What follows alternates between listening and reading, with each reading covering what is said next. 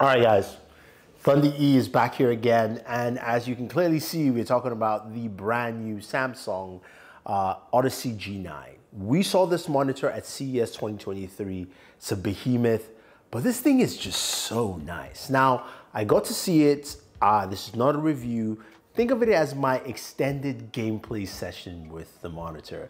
And boy, I've got a lot to talk about. So, 49 inch gaming monitor. Aesthetically, this thing is nice. It's got uh, the first thing you notice at the back is that lighting ring, the LED light ring there, which is very customizable on the monitor as well. Uh, it's got a thin profile, very nice.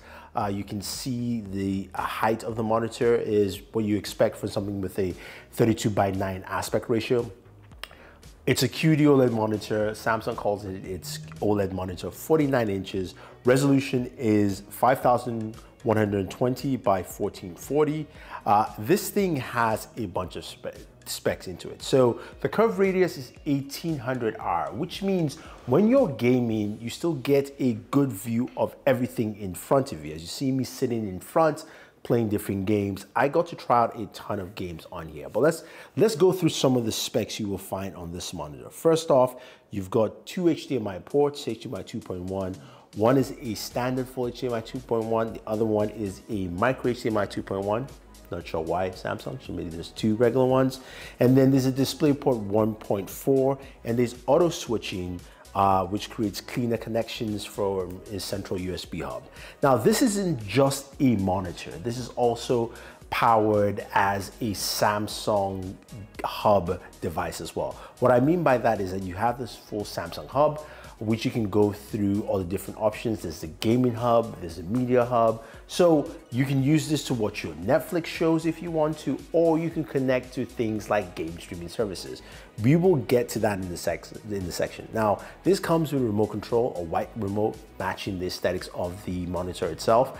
And it's a very clean remote. Of course, you expect it's from Samsung, what they're currently running at this point in time. Now you're wondering, what about gaming? How was the gaming experience here? So I played a bunch of games. I did play uh, Medal of Honor for a little bit. There's a new map on there. I gotta check it out.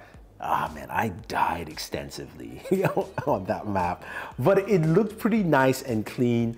Um, and you can see that high refresh rate and response time really come to play. 240 hertz in terms of refresh rate, response time 0.03 milliseconds, which is nice. Now, I went over to play a game that I can play for a long time, which of course is Doom Eternal, and there I did much better. Uh, and Doom Eternal is a very fast game, fast-paced, um, and you can see how it really handles clean on that monitor. And also the the color gamut showcases because you've got 99.3% color uh, gamut DCI, uh, DCI-P3, so it showcases well. And also the blacks up to 400 in terms of HDR true blacks. So those darker scenes really pop and they show off well with the monitor and it looks very, very nice. So I like that about it. And then I played, of course, the game that you really want to play on a monitor like this. I wish they actually had of course, Microsoft Flight Simulator, but no, that's not the game I played. I played Forza Horizon 5 and the landscapes look beautiful. Driving, just experiencing the whole vista was impressive with the monitor all the way through.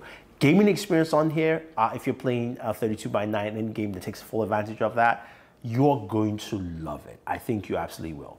Now, the monitor, as I mentioned, has, of course, the different Samsung Media Hubs. So you also have uh, a hub where you can go into Office built in.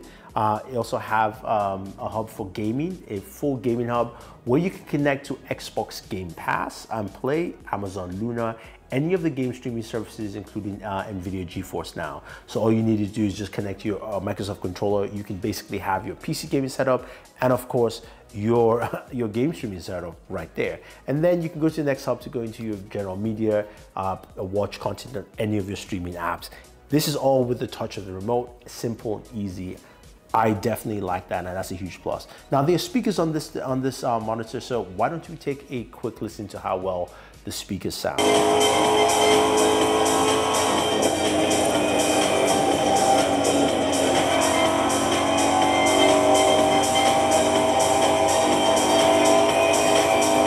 Things good. It is really nice. Now, the monitor also has a few other features to mention. Um, of course, you've got uh, a split screen with, with, with, dual inputs.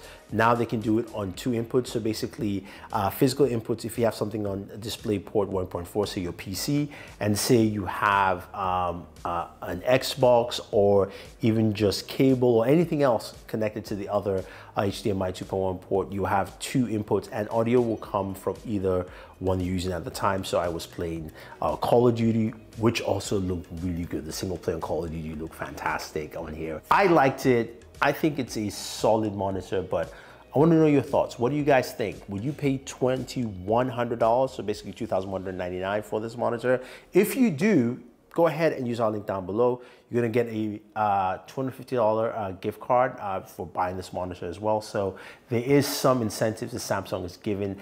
And price-wise, it matches a lot of things in that category, especially for an OLED monitor this size. Leave your thoughts down below. Don't forget to like, share, subscribe, and always enjoy entertainment.